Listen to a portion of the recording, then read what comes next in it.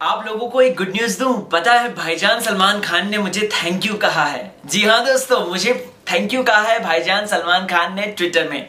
I guess मुझे नहीं, आप सभी को कहा है। जी हाँ दोस्तों जो जो सिनेमा घरों में रेस थ्री देखने के लिए गए, जिनकी वजह से रेस थ्री बम्पर हिट हो गई है, दोस्तों, उन सभी को भाईजान सलमान खान ने अपना ग्रेटिट्यूड शो किया है और एक मैसेज छोड़ा है ट्विटर में। चलिए आप लोगों को वो मैसेज पढ़ के सुनाता हूँ हाँ। एंड हाँ ये मैसेज सिर्फ़ और सिर्फ़ आपके लिए है ठीक है तो ये मैसेज मेरे लिए भी है चलिए बताता हूँ क्या है message I thank everyone who has gone to see hashtag race 3 in the theaters and each and everyone individually for watching race and glad that you have liked and appreciated everyone's effort that was put in the movie God bless सुखी रहो and keep watching means a lot तो दोस्तों मैंने तो अपना message personally ले लिया है क्योंकि मैं रेस थ्री सिनेमा घर में ही देखने गया था थ्री ग्लास लगा के।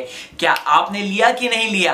वेल well, आपने अगर ये मैसेज ले लिया है तो आप भाईजान को थैंक यू बोलना चाहते हैं इस बात के लिए या अपनी कुछ भी डिज़ायर शो करना चाहते हैं लव यू भाईजान या कुछ भी बोलना चाहते हैं तो कमेंट सेक्शन में उनके थैंक यू मैसेज का आप भी थैंक यू मैसेज बनाइए और बिंदास, एकदम बेशरम होकर ठोक डालिए नीचे कमेंट कमेंट सेक्शन में कमेंट कीजिए एंड इसी तरीके की इंटरेस्टिंग अपडेट्स लाएगा आपका फिल्मी यारा राहुल भोज। और हाँ अब तो मैं वन लैक सब्सक्राइबर के बहुत करीब हूँ तो कीप वॉचिंग हाँ।